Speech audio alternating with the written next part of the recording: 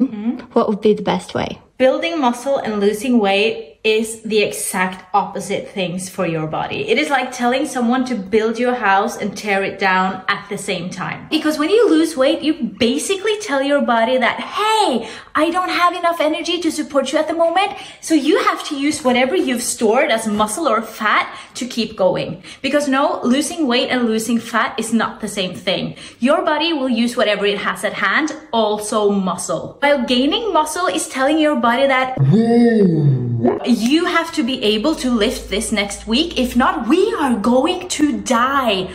Build, adapt, survival of the fittest. So the best way to do it is to choose. Either you lose weight and you try your best to remain whatever muscle you have on your body while you do so, or you gain muscle. If I wanted to lose weight and build muscle at the same time,